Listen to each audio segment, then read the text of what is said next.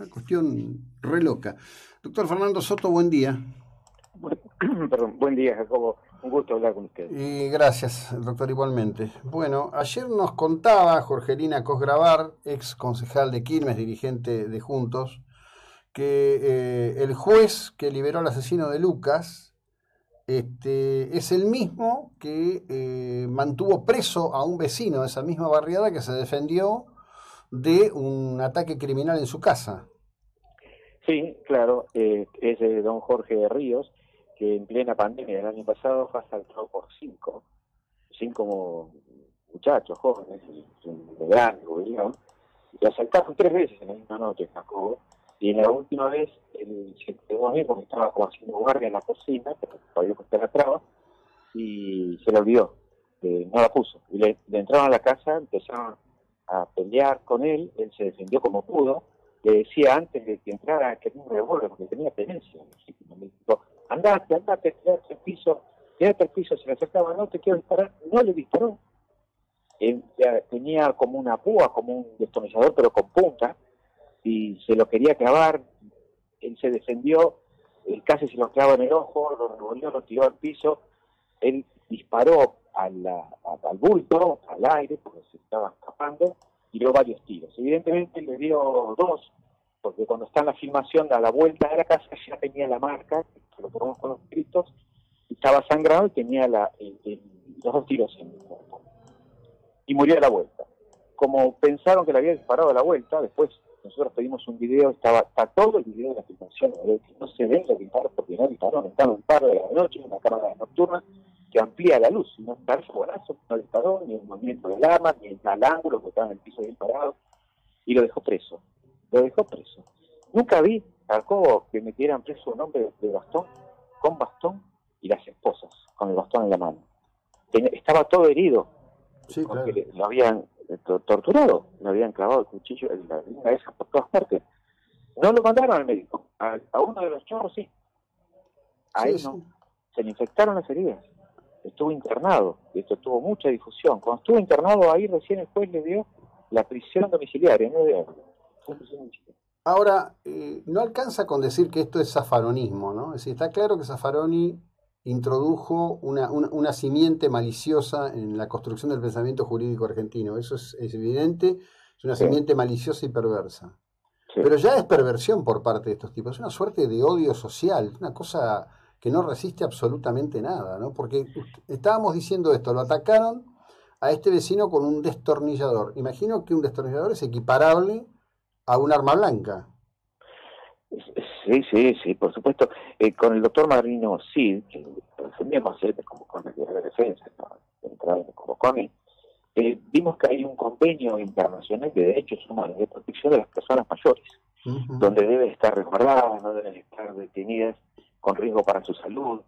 Eh, planteamos ese tratado firmado por Argentina, de humanos de personas mayores. No, no, no, no, no, no hicieron caso. O sea, hay un desequilibrio, con que hablaba de zapadonismo, hay como, de algún modo, y de muchos modos, hay como una perversión, ¿no? Como para eh, el pobrecito, el criminal, que fue a torturar al hombre grande, el otro que lo mató, que no lo había matado, ah, le mató, pero en la casa, que es defensa legítima, y en realidad no sabe en qué momento, porque era en medio de la paliza en el patio, cuando él disparó cuando estaba yéndose para que no lo ataque más. y, y, en, en ese razonamiento, para el delincuente, de hecho, mire, como uno de los cinco que lo atacaron a él estaba en libertad por la doctrina Violini. Eso, ese juez de casación que era sí, liberó miles de pesos. Y que de Lucina de Justicia, la querida Lucina de Justicia, que yo tengo el honor de integrar, planteamos un, una, un, una, buen amparo en la Corte Suprema de la provincia de Buenos Aires y logramos frenarlo. Bueno, uno de los, de los chorros estaba liberado que recién tendría que haber salido en agosto de este año, ahora, hace un mes. Pero esto fue en julio del año pasado. Lo liberaron anticipadamente por si se contagiaba de COVID. Eh, Ahí, jueces. Claro, sí, no, no, pero es, es, obvio que es una construcción ideológica y es obvio que esa construcción ideológica este, se lleva vidas, ¿no? En algún momento, en verdad, yo no, no cedo en la esperanza de que esto deje de, de, debatirse en esa abstracción de, bueno, el sistema corrige, el sistema corrige. Las vidas que se van no las corrige absolutamente nadie. Eh, eh, es verdad, porque es muy bien, está muy bien lo que usted dice. No es una cuestión eh, ideológica sobre una doctrina penal o sobre una postura del capitalismo, algo de libros. No, no. Esto mata gente. Y curiosamente, y terriblemente, mata a los que laburan. Él es uno, un, herrero de toda la vida, judío que se viene laburando herrero y la sacaron todas las Además, además, ¿no? Eh, y, defienden a los chorros, a los que matan, eh, eh, dificultan a los que se defienden, meten preso a los policías y salimos desvalidos nosotros en esa en ese en ese desequilibrio donde muere gente. O sea, esta doctrina, esta política mata personas. Eh, en los últimos 19 años murieron por la inseguridad, por homicidios, 49 mil personas, 49 mil, 49 mil. 49 mil, Dios mío. Sí, 49 mil en manos de los homicidas. ¿Y sabe qué es, qué es lo horrible de todo esto? Horrible, ¿eh? Que un, crimen, un crimen sucede a otro.